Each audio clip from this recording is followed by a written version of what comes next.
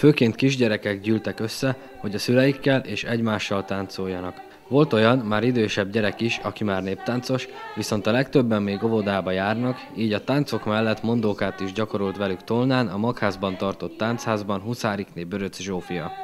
Voltam már fellépésen is. Táncoltunk.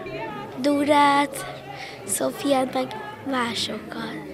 Mert a unokatesóm is el akart jönni.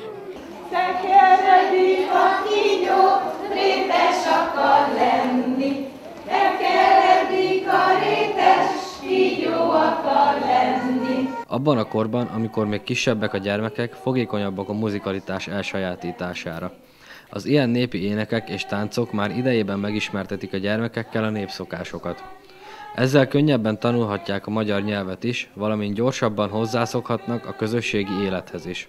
A két unokámat hoztam el, ők most itt törtik a tavaszi szünetet, Ausztriában élnek, de szeretném, hogyha megismerkednének ezzel a táncházas dologgal is. A nyelv miatt leginkább, hogy gyakorolják, mert magyarul és németül beszélnek, de hát meg kell, hogy tanulják a magyar szokásokat is. Játékos, inkább ilyen gyerek dolgokat, ami, ami kis óvodásoknak való. A táncházban a gyermekek Huszáriknél Böröc Zsófia vezetésével tanulhatták a mondókákat, énekelhettek és közben játékos táncokat gyakorolhattak. A pedagógus szerint fontos, hogy már kisgyerekkorban elkezdjék tanítani a táncot, az éneket és a mondókákat, hiszen így kialakulhat a gyermekekben a népi kultúra iránti érdeklődés és a hagyományok ismerete is. Azért fontos, mert elsőként is húsvét van.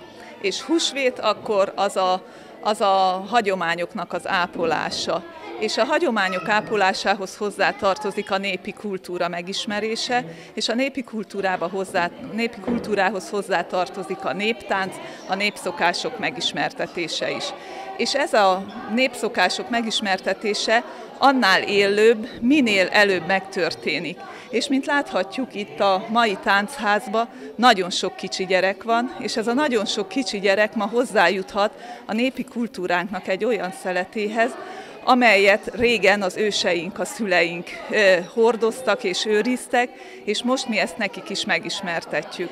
Elsőként is a korosztályi adottságokból kifolyólag én úgy látom, hogy népi gyerekjátékok lesznek, játszani fogunk főként, és azt követően majd ugrós táncokat fogunk nekik tanítani. A játékok azok lesznek párválasztós játékok, lesznek fogójátékok, lesznek fogyógyarapodó játékok, és hát ugye mivel, hogy most tavasz van, hát majd a gólyával, a természettel kapcsolatos játékokat fogjuk nekik tanítani. Nagyon fontos, mert a néptánc és a népzene ismerete az fejleszti a gyereket, és nem is akár, hogy fejleszti, fejleszti a ritmuskészségét, halláskészségét, és fizikálisan is nagyon jól tudjuk vele fejleszteni a gyerekeket, és ez a fizikális fejlesztés a mai rohanó világunkban egyre inkább háttérbe szorul, amikor a gyerekeket autóval visszük mindenhova, és a néptánc, a népi játék az mindig egy jó fizikális alapot ad a gyerekeknek. Én azt gondolom, hogy a saját népünk, a magyarságunk kultúrájának a megismertetése az nagyon fontos,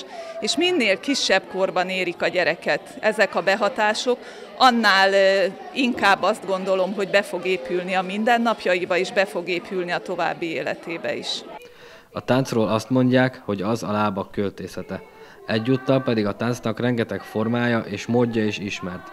Vannak olyanok, akik szórakozásból táncolnak, és vannak olyanok, akik versenyszinten űzik a táncot, de egy biztos, a tánc összeköti az embereket, és fiatalabb korban pedig nagyon jó hatással van a gyermekek mozgáskultúrájára és a zenei hallásuk kialakulására is.